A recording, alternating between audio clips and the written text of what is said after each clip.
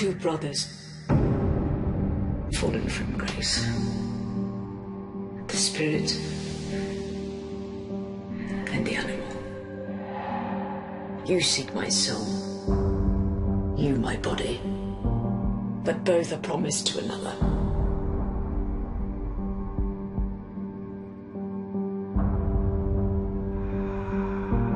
Soon.